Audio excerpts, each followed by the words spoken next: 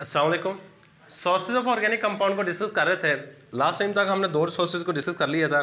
एक हमारे पास प्लांट्स और एनिमल्स है ऑर्गेनिक कंपाउंड के सोर्स जो लास्ट टाइम हमने डिस्कस किए थे। प्लांट्स एंड एनिमल्स इसके अलावा हमारे पास सेकंड नंबर जो सोर था सोर्स था ऑर्गेनिक कंपाउंड का वो कोल था। कोल को याद रखिए कोयला कहते हैं। आम ज़ुबान के अंदर क्या कह रहे होते हैं? कोयले। का नाम देते हैं। आज जो सोर्स हमने डिस्कस करा यह है नेचुरल गैस थर्ड सोर्स हमारे पास आ जाता है नेचुरल नेचुरल गैस अब नेचुरल गैस याद रखिएगा, दो तीन फॉर्म के अंदर एग्जिस्ट करती है। हमारे घरों के अंदर जो गैस आ रही होती है, इसको भी नेचुरल गैस के जमरे में लेते हैं। तो ये जो डोमेस्टिक फ्यूल के तौर पे इस्तेमाल की जाती है, पहले नंबर पे। इसके अलावा आपने एक वर्ड सुना होगा सी एन जी अब देखो, ये सी एन जी का मतलब क्या है? कॉम्प्रेस्ड कॉम्प्रेस्ड नेचुरल गैस जो नेचुरल गैस होती है, इसको कंप्रेस करके दबा के इसको गाड़ियों के अंदर भर भर दिया जाता है। और इसके अलावा एक आपने और भी सुनी होगी एल पी जी और मैक्सिमम लोग इसको एल पी कहते हैं। अब एल पी जी का मतलब क्या है? Liquid petroleum gas L P G क्या है? लिक्विड पेट्रोलियम गैस अच्छा अगर कोई पूछ रहे हैं कि ये जो हमारे पास नेचुरल गैस है, ये बनती किस तरह है? हमारे पास तो आ रही है, हम इसको ना अमूमन नाम देते सुई गैस। सुई असल में मुकाम है जहाँ से इस गैस को निकाला जा रहा है।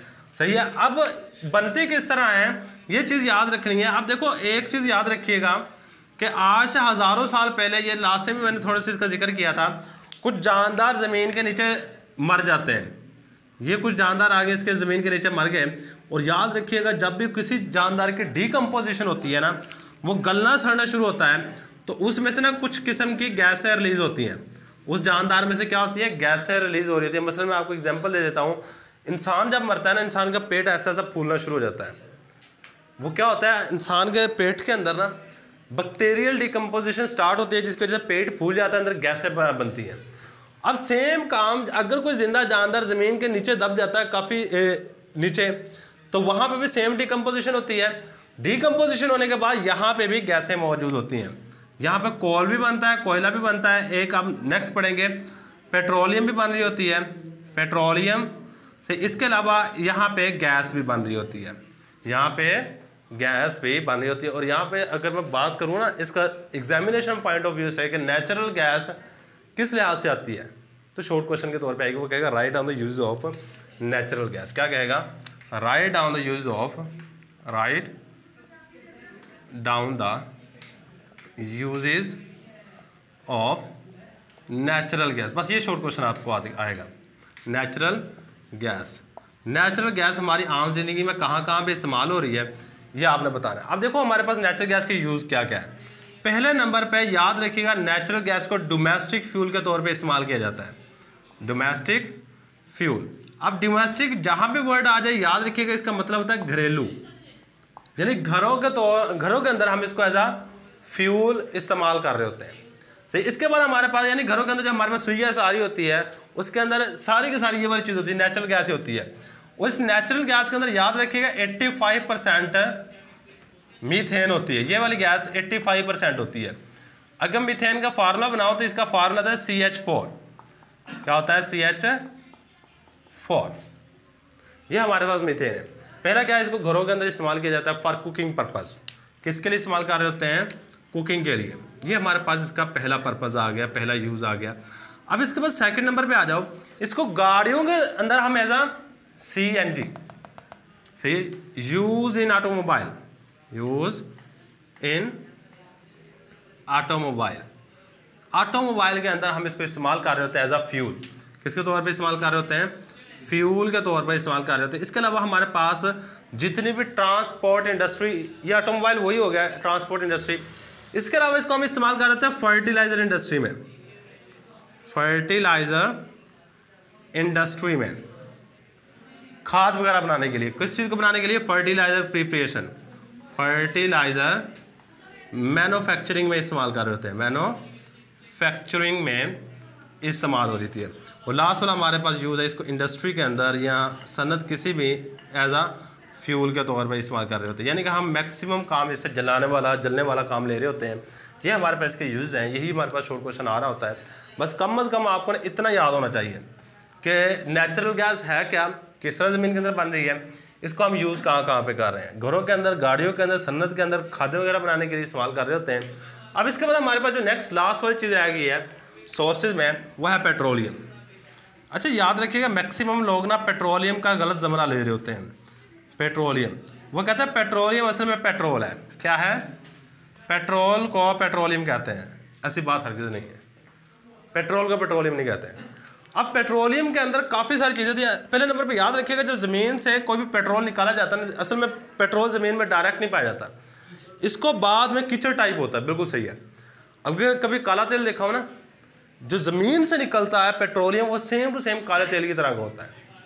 बाद में उससे अलहदा कर रहे होते हैं, पेट्रोल को, डीजल को, मिट्टी के तेल को, मोबाइल को, लुक को। सही है, इसके अलावा ग्रीसेज वगैरह भी वहाँ से आ रही होती हैं। सही अब आपके पास होता क्या कहता है पहले नंबर पे पेट्रोलियम की मैन्युफैक्चरिंग किस तरह होती है। मैनो फैक्चरिंग कह लो या फिर इसकी फॉर्मेशन कह लो। ये किस तरह बन रहा होता है? फॉर्मेशन बिल्कुल आसान है बच्चे। तरीकाकार क्या है? बनने का कहता आज से हज़ारों साल पहले कुछ जानदार, ज़िंदा जानदार पौधे हों या जानवर हों, वो ज़मीन के नीचे दब गए हैं। तो ये हमारे पास ज़मीन है। ज़मीन के नीचे जब वो दब जाते हैं, ज़मीन के नीचे हाई टेम्परेचर हाई प्रेशर होने की वजह से क्या होता है, इनमें बैक्टीरियल डिकम्पोजिशन स्टार्ट हो जाएगी मैं कहता हूँ, ये लिविंग थिंग है और ये हमारे पास ज़मीन की सतह है और इसको हम नाम दे रहे होते हैं अर्थ क्रस्ट क्या नाम दे रहे होते हैं? अर्थ क्रस्ट ज़मीन की सतह। और जहाँ पे ये वाली चीज़ मिल रही होती है उसको हम दे, दे रहे होते हैं नाम सेडिमेंट्री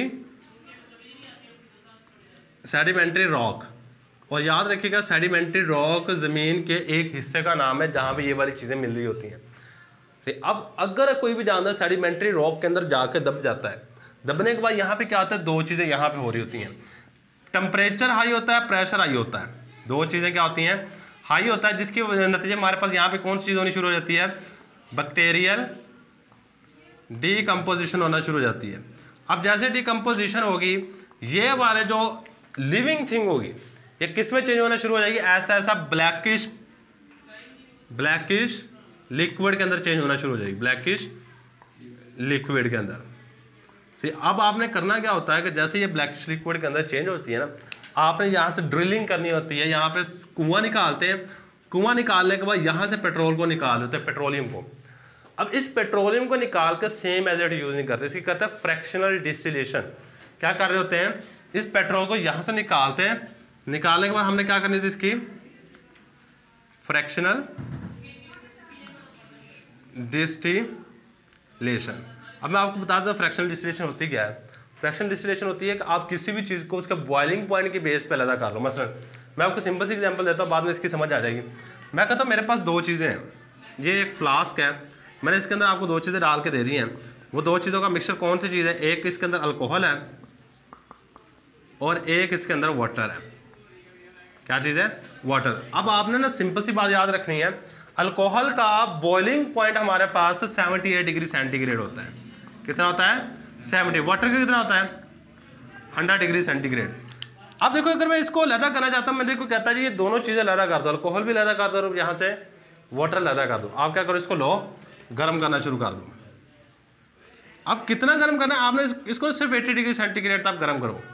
अब खुद सोचो कि अगर मैं इसको 80 डिग्री सेंटीग्रेड तक गर्म करता हूँ तो पानी तो बॉयल नहीं होगा, जबकि अल्कोहल बॉयल हो जाएगी। और जब अल्कोहल बॉयल होगी तो यहाँ से ऊपर की तरफ़ उठेगी। अब यहाँ से अल्कोहल को सारी को लहरा कर लो, पानी नीचे रह जाएगा। सेम काम यहाँ भी हो रहा होता है। आपके पास ये जो सारे का सारा, यहाँ से पेट्रोलियम निकल रहा होता है, इसकी फ्रैक्शनल डिस्टिलेशन करते हैं। फ्रैक्शनल डिस्टिलेशन करने के लिए हमारे पास इस तरह का एक टावर सा होता है, ये टावर तो इसके अंदर यहाँ से आपने पेट्रोल को अंदर इंजेक्ट करना होता है। यहाँ पे हमने भट्टी लगा रखी होती है असल में।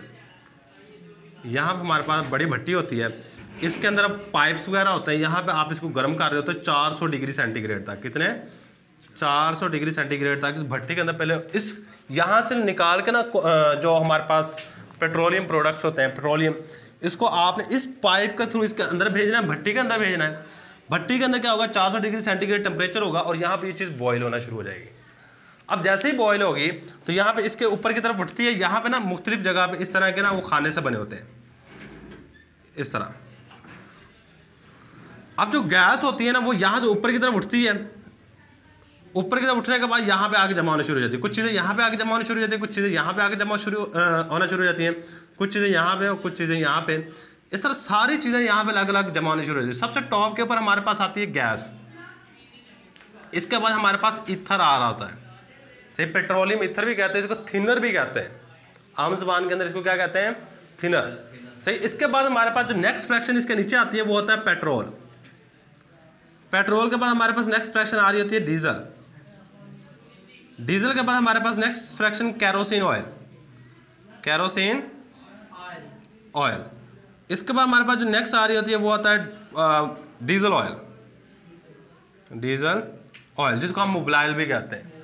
सही है। अब इसके बाद हमारे पास नीचे की तरफ़ पिच वगैरह आ जाती है, जिसको हम लुक वगैरह कहते हैं। तो ये सारी की सारी चीज़ें हमारे पास पेट्रोलियम से बन रही होती हैं। यहाँ से जो मेन चीज़ आपने याद रखनी है, वो इनके नाम थोड़े बहुत याद रख लीजिएगा। अब खुद सोचो, अगर कोई पूछ रहा है कि write down the use of petroleum petroleum के इस्तेमाल लिख दो। क्या लिखोगे?